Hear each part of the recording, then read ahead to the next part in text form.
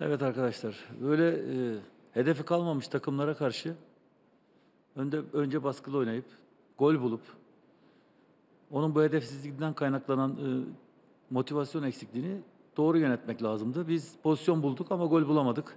Oyunun genelinde e, vasat bir oyun sergiledik.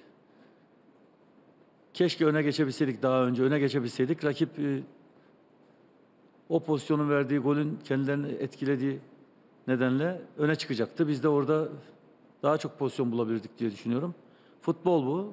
Ne olursa olsun öne geçip bizim gibi bir hedefi olan takımın 90. dakikada öne geçtikten sonra bu kadar basit gol yememesi lazım. Bu bize ders olsun. Önümüzde 7 maçımız var. Hepsi final. Bu da finaldi biliyorsunuz. Ona göre konsantre olacağız, çalışacağız. Hedefimize doğru emin adımlarla ilerleyeceğiz diye düşünüyorum. Arkadaşlara da bunu anlattım. Tamam olabilir. Futbolun içinde bazı şeyler var. O bugün yanımızda değildi. Ama bundan sonra daha dikkatli, daha disiplinli, daha coşkulu, daha istekli olup bir an önce hedefe ulaşmak lazım.